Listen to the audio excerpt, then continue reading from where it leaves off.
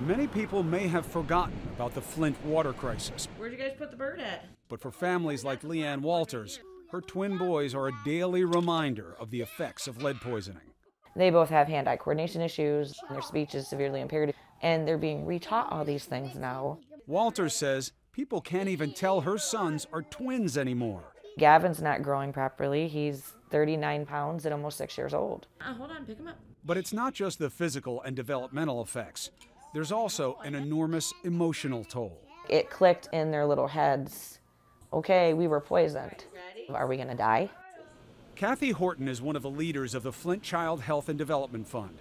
It focuses on the short and long term needs of the city's children exposed to lead. We have committed to raising money over the next 10 to 20 years to follow these children into adulthood because sometimes it takes years for the impact of lead exposure to manifest itself. Wait, wait, who? The Walters family still relies on bottled water for everything drinking, cooking, baths.